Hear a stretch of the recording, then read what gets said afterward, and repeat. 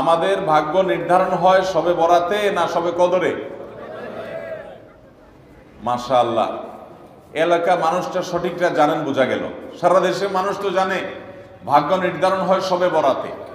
ভাইরা আমার, কোরআনে হাকিমে সুরায় দুখানের তিন এবং চার নম্বর আয়াত যদি আপনি দেখেন, আল্লাহ বলেছেন, আমি নিশ্চয়ই কোরআনকে নাজিল করেছি, অবতীর্ণ করেছি একটি বরকতময় রাতে।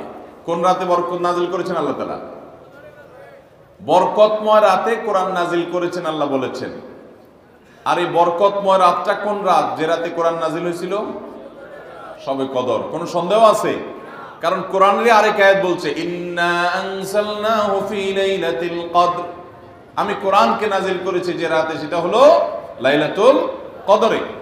তাহলে লাইলাতুল কদরে আল্লাহ কোরআন নাজিল করেছেন। আর সুরাদ ওখানে বলেছেন, আমি একটি বরকতময় রাতে কোরআন নাজিল করেছি। তাহলে এখানে বরকতময় রাত বলতে যে লাইলাতুল কদরকে বোঝানো হয়েছে, সেটা দিনের আলোর মতো পরিষ্কার।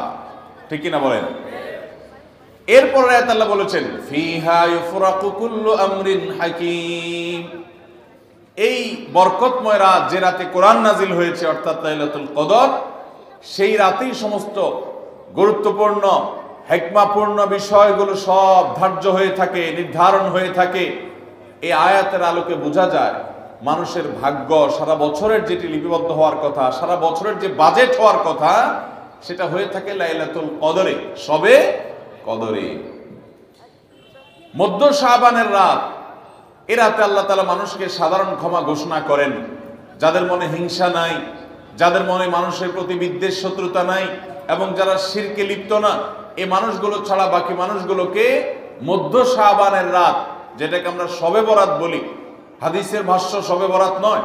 হাদিসের ভাষ্য হলো, লাইলাতুন নিসফি মিন শাহবান সেই রাতে আল্লাহ আলামিন বান্দাকে সাধারণ ক্ষমা ঘোষণা করেন। এটা একটা ভিন্ন বিষয়, কিন্তু বছরের সবচেয়ে শ্রেষ্ঠ রাত হলো লাইলাতুল কদর।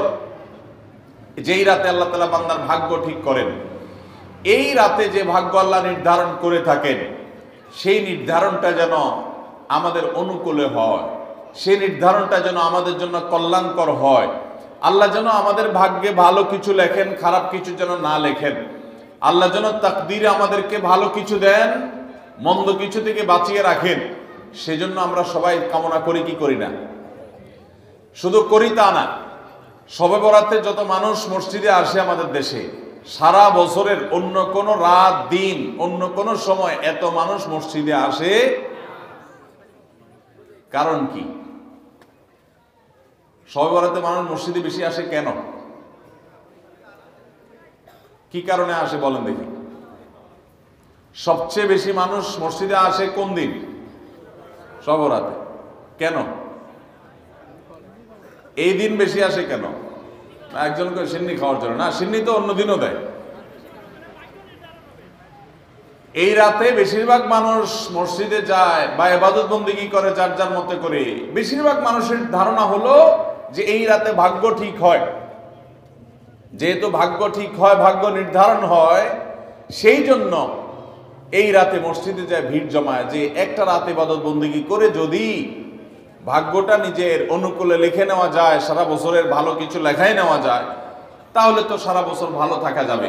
এই জন্য ওই একটা রাত একটু বেশি ইবাদতবন্দি করার চেষ্টা করে। ঠিক না ঠিক ভাইরা আমার, প্রথম কথা হলো, ভাগ্য নির্ধারণ এই রাতে নয়, বরং লাইলাতুল কদরে হয়। দ্বিতীয় কথা হলো, ভাগ্য নির্ধারণের জন্য একটা রাত মসজিদে গিয়ে ইবাদত বন্দিগি করলেই আমার ভাগ্য নির্ধারিত হয়ে যাবে বা ভাগ্য ভালো কিছু লেখা হয়ে যাবে ভাগ্যে। এরকম কোনো কথা কোরআন বা হাদিস থেকে পাওয়া যায় কোরআন হাদিসে কি পাওয়া যায়?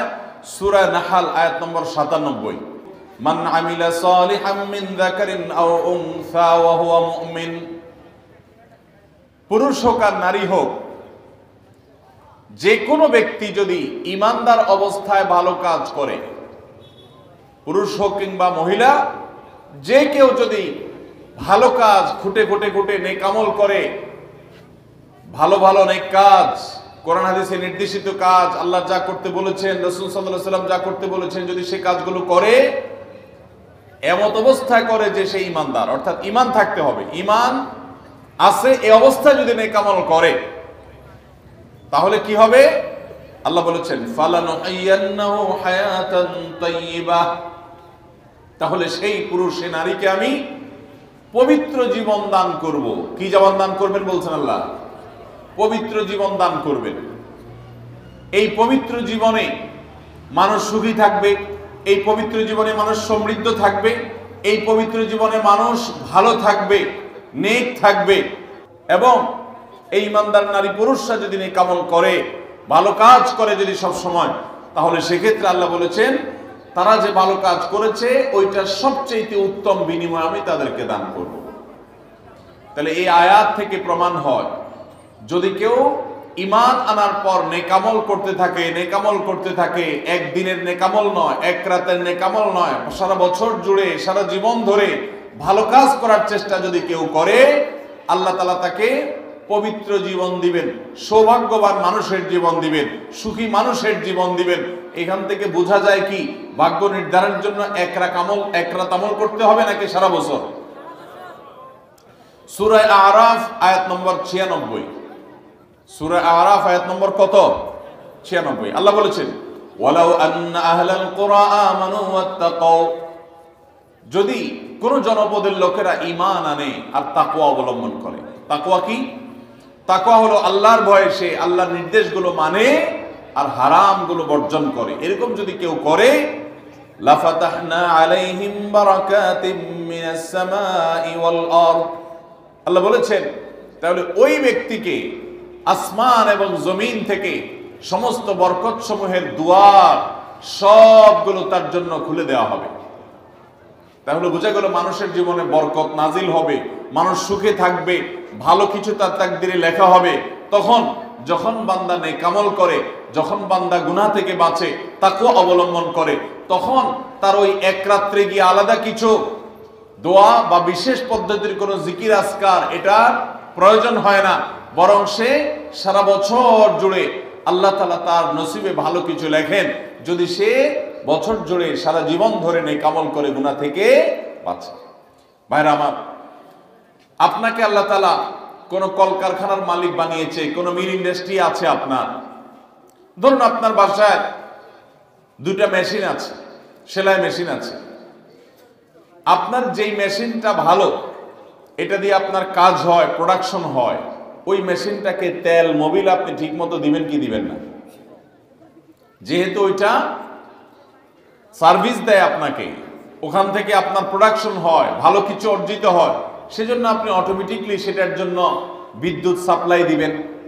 গ্যাস লাগলে গ্যাসের সাপ্লাই যে মেশিনের জন্য দরকার সেটা দিবেন। তেল, মোবিল যা যা দেওয়া দরকার সেটা দিবেন। নষ্ট হলে সাথে সাথে ওটা ঠিক করাবেন। যা যা দরকার সব ব্যবস্থা আপনি করবেন। কারণ মেশিনটা আপনার প্রোডাক্ট প্রোডাক্টিভ মেশিনটা আপনার প্রোডাকশন দিচ্ছে। এখান থেকে ভালো কিছু পাওয়া যাচ্ছে, সেজন্য আপনি এটা দিবেন। আরেকটা মেশিন যদি হয়, যে মেশিন থেকে আপনার কোনো সার্ভিস আপনি পান না প্রোডাকশন দেয় না মেশিনটা নষ্ট হয়ে, অকেজো হয়ে পড়ে আছে, তাহলে ওই মেশিনে কি আপনি বিদ্যুৎ সাপ্লাই দিবেন? ওখানে কি আপনি অন্য যা দরকার আছে, তেল, মোবিল, নিয়মিত দেওয়া, এগুলো কি আপনি করবেন? করবেন না। হ্যাঁ ওইটার জন্য মাসে মাসে কিস্তি যদি দেওয়ার দরকার হয়, আগে থেকে কিনা থাকে, তাহলে আপনি হয়তো কিস্তি পরিশোধ করবেন। অন্য কিছু আগে থেকে করা দরকার আছে, সেটা আপনি করবেন। আল্লাহ রব্বুল আলমিন ঠিক একইভাবে তার যে বান্দারা, তার অনুগত থাকে, তাকে অবলম্বন করে, হারাম থেকে বাঁচে, গুনাহ থেকে বাঁচে, ফরজ কাজগুলো করে, আল্লাহ তালা তার সেই বান্দাদের জন্য ভালো কিছু তাদের তকদিরে লিপিবদ্ধ করেন। তাদের জন্য নসিবে ভালো কিছু রাখেন। তাদেরকে সুখের জীবন দান করেন, সৌভাগ্য দান করেন, আল্লাহ তালা প্রকৃত প্রশান্তি মনের সেটা দান করেন, আল্লাহর ইমানদার এবং নেককার বান্দাদেরকে, আমলে সালে কর্ণওয়ালা বান্দাদেরকে, মোত্তাকি পরেজগার বান্দাদেরকে। আর যারা আল্লাহর এই আনুগত্য করে না, যারা আল্লাহ রব্বুল আলমীর প্রতি ইমান আনে না, যারা নেই কামল করে না, যারা তাকে অবলম্বন করে না, এই মানুষগুলো তাদেরকে আল্লাহ তালা ওই দুনিয়াতে বেঁচে থাকার জন্য আর দুনিয়া সিজনুল মোমেন ওয়া জান্নাতুল কাফের হাদিসে আসছে, দুনিয়া হলো ইমানদারের জন্য জেলখানা আর কাফের জন্য ইমানদারের জন্য হলো জেলখানা আর কাফের জন্য জান্নাতের মতো যা খুশি করতে পারে। আল্লাহ তালা তাকে কিছু রিজিক দিয়ে বাঁচায় রাখেন, কিন্তু এই রিজিকের কোনো মূল্য আল্লাহর কাছে নাই। নবী করিম সাল্লা সাল্লাম বলেছেন, যদি দুনিয়া এবং দুনিয়ার মধ্যে যা কিছু আছে, এগুলো যদি মাছির ডানার মতো মূল্য রাখতো তো আল্লাহ তালা দুনিয়াতে আল্লাহর প্রতি অবিশ্বাসী কাউকে এক ঢোক পানীয় পান করতে দিতেন না। এখান থেকে বোঝা গেল দুনিয়া যত কিছু আমরা ভোগ করি, এগুলো আল্লাহ রব্বুল আলমের কাছে এগুলো দুই পয়সার কোনো দাম নাই। বিশেষ করে যারা আখেরাতে বিশ্বাসী না, যারা আল্লাহর প্রতি ইমান নাই, সে কাফেরদের জন্য এগুলো আল্লাহ তালা দিয়ে থাকেন কারণ এগুলো সামান্য সময়ের ভোগ, অনন্ত অসীমকালের সুখ এবং দুনিয়ার প্রকৃত প্রশান্তি। এটা আল্লাহ শুধু তার ইমানদার বান্দাদের জন্যই বরাদ্দ করে রেখেছেন। তো এই আয়াত থেকে, হাদিস থেকে বোঝা যায় যে ইমানদাররা যখন নেকামল করবে, তাদের জন্য আল্লাহ তালা নসিবে ভালো কিছু দিবেন। তাদের জন্য আল্লাহ তালা তাদের ভাগ্যে ভালো কিছু দিবেন। তাদের ভাগ্য সুপ্রসন্ন হবে। আর যদি কেউ বদামল হয়, তাহলে আল্লাহ আলমিন তার জন্য প্রকৃত প্রশান্তি, আসল সুখের ঠিকানা, সেটা আল্লাহ তালা তাদেরকে কখনো দিবেন। মোহতারাম হাজরিন, অতএব আমরা যদি চাই আমাদের ভাগ্যে ভালো কিছু লেখা হোক, তাহলে প্রথম কাজ করতে হবে আমাদেরকে নেকামল করতে হবে। ইমান আনার পর কি করতে হবে? নেকামল করতে হবে। আল্লাহ আমাদের সবাইকে সে তৌফিক দান করুন। ইমান আনার পর ভালো কাজ করতে হবে। নেকামল করতে হবে। আমরা যদি ইমান আনার পর নেকামল করি, ভালো কাজে লিপ্ত হই তাকুয়া চর্চা করি, তাহলে আল্লাহ রব্বুল আলমিন আমাদের ভাগ্যে ভালো কিছু রাখবেন।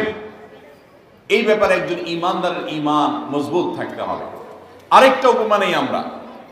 একজন জনপ্রতিনিধি, ওনার যারা প্রচার প্রচারণা করে, ওনার পক্ষে যারা মানুষের কাছ থেকে ভোট কালেকশন করে, সংগ্রহ করে, এই জনপ্রতিনিধির কাছে যদি কোনো রিলিফের মাল আসে, সরকারি চাল, ডাল ইত্যাদি এসব যদি আসে, তিনি তার এলাকার মানুষদেরকে, ভোটারদেরকে, জনগণ, তাদেরকে তিনি যারা অভাবী, যারা এটার হকদার, তাদেরকে দিবেন, এটা তার দায়িত্ব, কর্তব্য থাকে। যদি তার কোনো আগে থেকে তার দলের কোনো কর্মী থাকে, নির্বাচনের সময় তার অনুগত কোনো মানুষ থাকে যে তার পক্ষে কাজ করছে অনেক বেশি। তো এই লোকটার যদি রিলিফের দরকার হয়, সে কি ওই চেয়ারম্যান সাহেবের কাছে আর জনপ্রতিনিধির কাছে ধর্ণা দিয়ে আলাদা পিছনে দর দর আপনার লাইন ধরে ঘুরতে হবে তার? অটোমেটিক তাকে দেয়া হবে, কারণ সে আগে থেকেই তার লোক। অতএব অন্য দশজন যদি পায়, এই লোক বরং তারও আগে পাবে। ঠিক একইভাবে যে সারা বছর জুড়ে নেকামল করে তাকে অবলম্বন করে, গুনাহ থেকে বাঁচে, আল্লাহর আনুগত্য করে, আল্লাহর আদেশ নিষেধগুলো মেনে চলে, পাঁচ নামাজ পড়ে, হালাল হারাম বাজ বিচার করে চলে, আল্লাহর ভয় অন্তরে লালন করে, ওই আল্লাহর বান্দাকে আল্লাহ যখন ভাগ্য লিপিবদ্ধ করবেন আল্লাহ যখন বাজেট ঘোষণা করবেন, তখন আল্লাহ তালা তার সেই ইমানদার সেই মুত্তাকি বান্দার জন্য বাজেট রাখবেন ভালো। এটা তো বলার অপেক্ষা রাখে। অতএব ভাগ্য সুপ্রসন্ন হওয়ার জন্য, ভাগ্যে ভালো কিছু লেখা হওয়ার জন্য এক রাতের ইবাদত নয়। এই সমস্ত আয়াত, হাদিস, উপমা থেকে আমরা বোঝাবার চেষ্টা করছি যে আমাদেরকে করতে হবে সারা বছর জুড়ে ভালো কাজের চর্চা নেকামলের চর্চা। তাহলে আমরা নেকামলের মাধ্যমে আল্লাহ রব্বুল আলমিনের কাছ থেকে ভালো কিছুর ফয়সালা পাবো ইনশা আল্লাহ মোহতারাম হাজরিন, আমরা অনেকে দোয়ার জন্য অনেক অস্থির হই, পরেশান হই যে অমুক হুজুর যেন আমার জন্য একটু দোয়া করে দেন, ইমাম সাহেব আমার জন্য একটু দোয়া করে দেন। বড় কোনো আলেম পাইলে আমরা দোয়ার জন্য অনেক চেষ্টা করি যে, ভাই, আপনি একটু আমার জন্য দোয়া করে দেন। এটা ভালো, এটা খারাপ কিছু না। আমরা যারা এক রাতে আমল ইবাদত করে আমাদের ভাগ্যের ভালো কিছু লেখানোর জন্য চেষ্টা করি। আমি সেই ভাইদেরকে বলতে চাই, সারা দুনিয়ার সমস্ত ভালো মানুষ, সকল নেক মানুষ, এমনকি মক্কা মদিনার ইমাম সাহেবরা, হারামাইনের ইমাম খতিবগণ, সারা দুনিয়ার সকল আল্লাহওয়ালা, নেককার এবং ভালো মানুষ যারা আছেন আব্দুল সালেহ যারা আছেন, আল্লাহর ওলি যারা আছেন, তাদের সবার দোয়া আমরা পাইতে চাই। একটা সহজ উপায় আছে। সেটা কি? এই এতক্ষণ যেটা বললাম, অর্থাৎ আপনি যদি নিজেকে ভালো মানুষ হিসাবে গড়ে তোলার জন্য চেষ্টা করেন, আপনি পাঁচক্ত নামাজ পড়বেন, আল্লাহর হুকুম মতো চলবেন, আপনি হারাম থেকে বাঁচার জন্য সংগ্রাম, যুদ্ধ চালাবেন, আপনি হক হালালি চলার চেষ্টা করবেন, আপনি তা তাকুয়ার উপরে চলার চেষ্টা করবেন। যদি আপনি এটা করেন, তাহলে অটোমেটিকলি সারা দুনিয়ার সমস্ত নেককার মানুষদের দোয়া একবার না বার বার বার বার, হাজার হাজার, লক্ষ লক্ষ বার আপনি পেতে থাকবেন। কীভাবে? আমরা নামাজের মধ্যে আত্মাহিয়াত পড়ি কি পড়ি না? এই আত্মাহিয়াতের মধ্যে একটা কথা আছে। আসসালামু আলাইনা ওয়ালা ইবাদিল্লাহিস সালিহিন এর অর্থ কি? এর অর্থ হলো, হে আল্লাহ, নামাজের মধ্যে নামাজরত অবস্থা দোয়া। এখানে দোয়া করছে মুসল্লি, হে আল্লাহ আসসালামু আলাইনা। আল্লাহ আমার প্রতি শান্তি বর্ষিত হোক, আমাদের প্রতি শান্তি বর্ষিত হোক। ওয়ালা ইবাদিল্লাহিস সালিহিন। এবং আল্লাহর যত নেককার বান্দা আছে সারা পৃথিবীতে, সারা দুনিয়াতে যত নেককার বান্দা আল্লাহর আছে, যারা ভালো কাজ করার চেষ্টা করে, যারা হক হালালি চলার চেষ্টা করে, যারা হারাম উপার্জন করে না, যারা হারাম জিনিস দেখে না, হারাম জিনিস ধরে না, হারাম খায় না, হারাম কথা বলে না হারাম জায়গায় যায় না, হারাম কাজ করে না। পাঁচক্ত নামাজ পড়ে জাকাত ফরজ হলে জাকাত দেয়, হজ ফরজ হলে হজ করে, রমজান আসলে রোজা রাখে, সকল ফরজ কাজগুলো করে। এক কথায় কোরআন হাদিসকে মেনে চলার চেষ্টা করে যারা, তার জীবনের অক্ষরে অক্ষরে প্রতিটা পদক্ষেপে এদেরকে বলা হয় নেককার বান্দা। নামাজে আত্মাহতে প্রত্যেকটা মুসল্লি সারা পৃথিবীর সমস্ত প্রান্ত থেকে আল্লাহর কাছে দোয়া করে। আসসালামু আলাইনা আল্লাহ আমাদের প্রতি তো শান্তি বর্ষিত করবেনই। সেই সাথে আপনার নেককার বান্দা যারা আছেন, যা সারা দুনিয়াতে এই সকল নেককার বান্দাদের প্রতি আপনি শান্তি বর্ষিত করেন। এই দোয়া প্রত্যেকটা মানুষ নামাজের মধ্যে করে, কি করে না?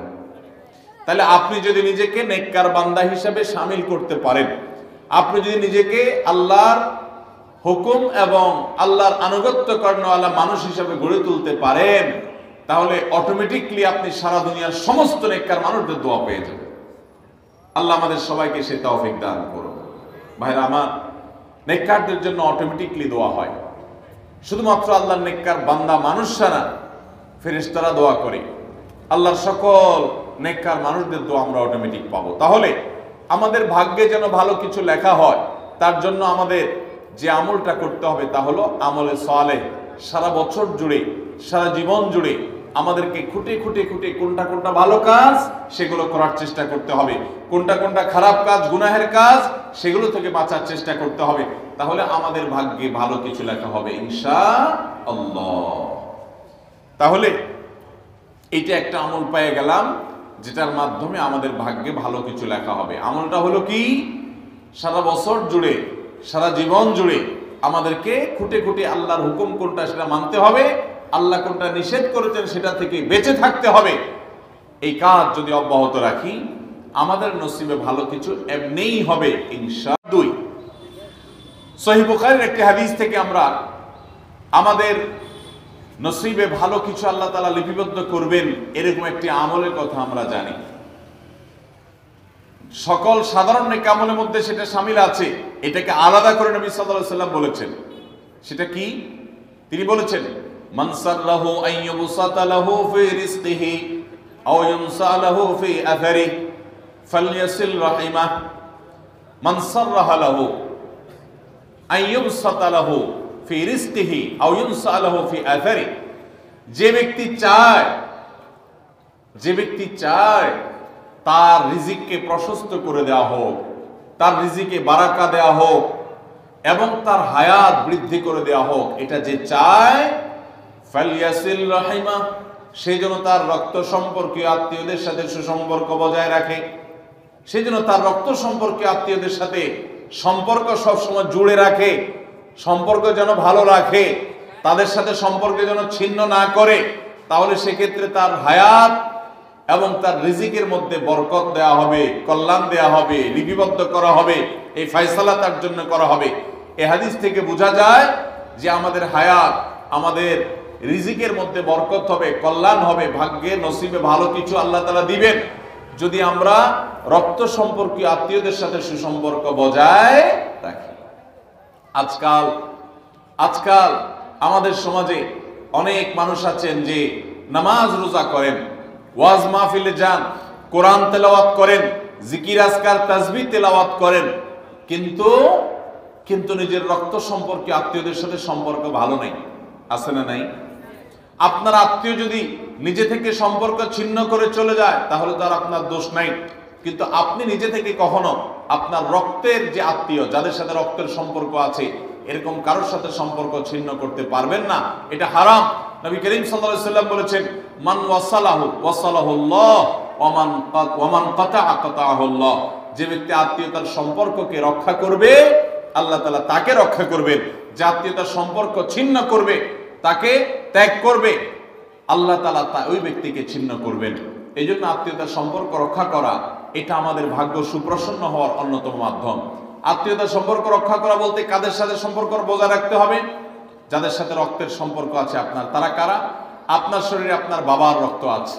রক্ত সম্পর্কীয় আত্মীয়, আপনার বাবার সাথে আপনার ব্লাডের কানেকশন আছে। আপনার মায়ের সাথে আপনার ব্লাডের কানেকশন আছে।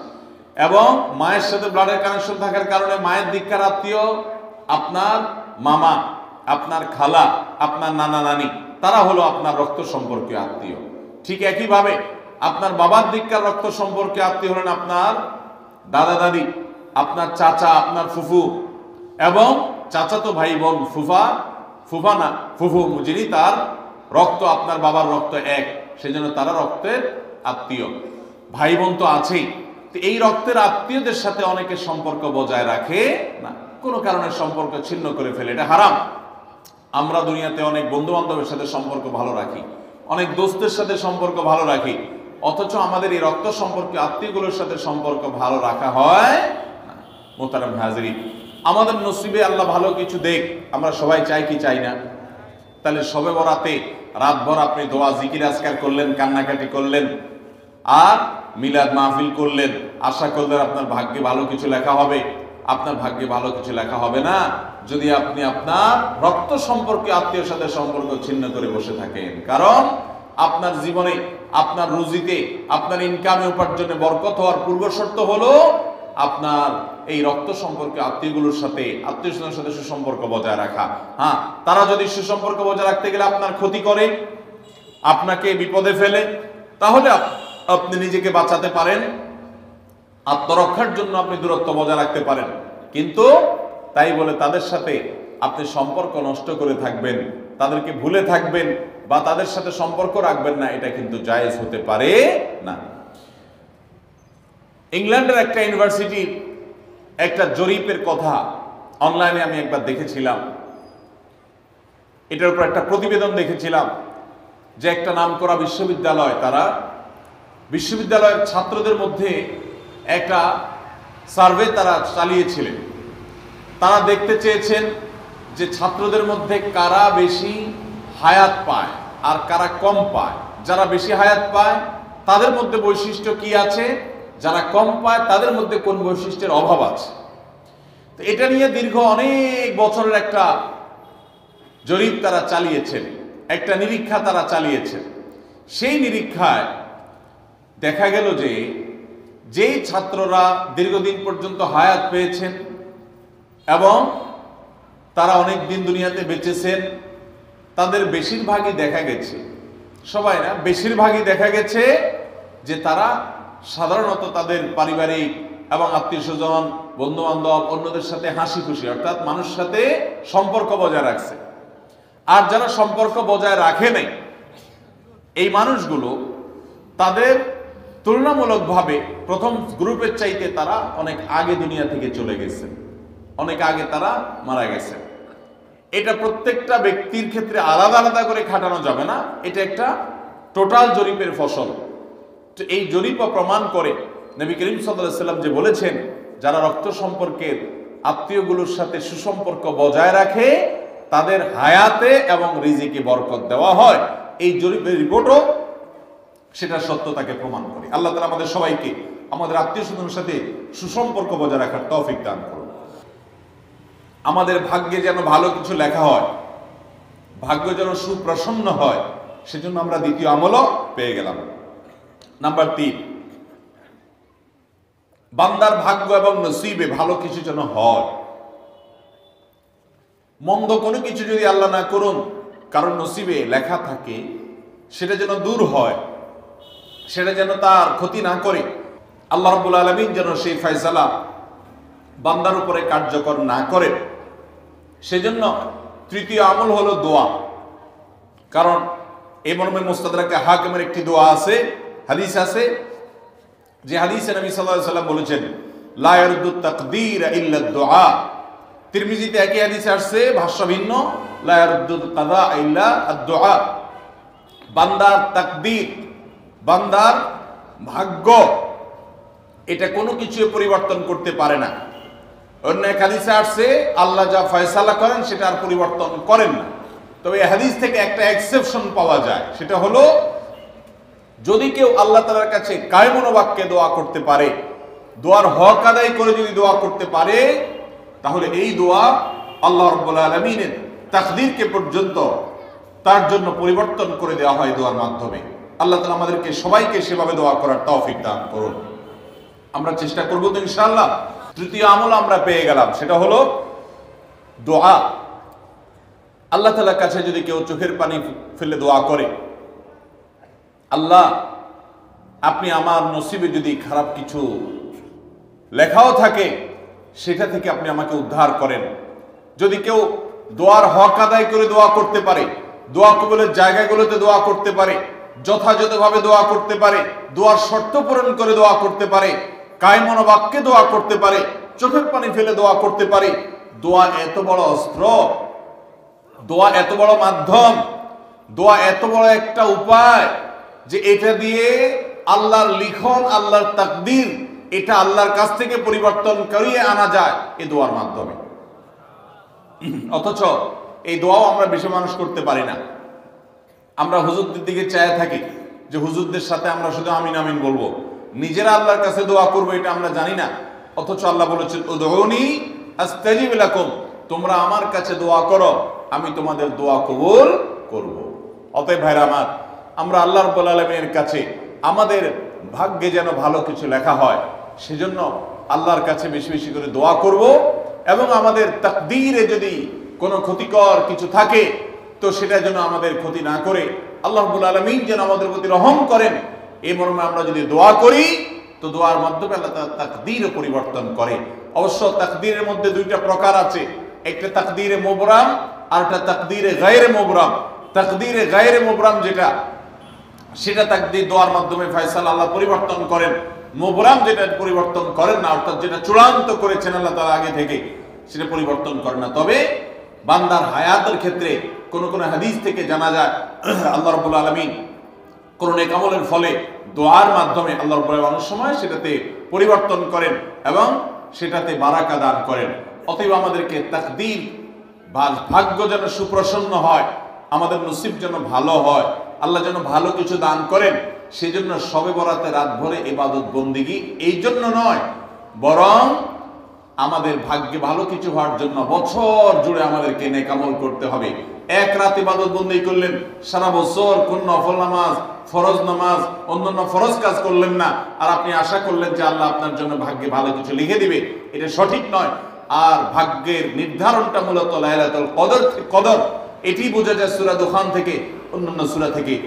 অতএব আমাদের সবাইকে আমাদের ভাগ্যে ভালো কিছু লেখার জন্য বেশি বেশি আমাদের পাঁচক্ত ফরজ নামাজ সহ আল্লাহর সমস্ত ফরজ বিধানগুলো মেনে চলতে হবে। হারাম এবং গুনাহের কাজগুলো থেকে বেঁচে চলতে হবে এবং সেই সাথে আমাদের সবাইকে বেশি বেশি করে, বিশেষ করে নেককারদের কাতারে সামিল হতে হবে। আমি যত বেশি নেককার হতে পারব, ওই যে নামাজে আত্মীয়তার মধ্যে নেককারদের দোয়া পাবো, আমার প্রতি শান্তি আল্লাহর এমনি বর্ষিত হবে। এবং দ্বিতীয় আমল হলো বেশি বেশি করে আত্মীয় স্বজন রক্ত সম্পর্কীয় যারা তাদের সাথে বিশেষভাবে সুসম্পর্ক বজায় রাখতে হবে। সম্পর্ক নষ্ট করা যাবে না, সম্পর্ক ছিন্ন করা যাবে না। এবং তৃতীয় আমল হলো বেশি বেশি দোয়া করতে হবে। এই তিনও আমল যখন আমরা একযোগে চালাবো, একদিক থেকে সাধারণ সামনে কামল করব, বিশেষভাবে আমি আত্মীয় স্বজনের সাথে সুসম্পর্ক বজায় রাখার চেষ্টা করব এবং আল্লাহর কাছে দোয়ার আমলটা বেশি বেশি করব।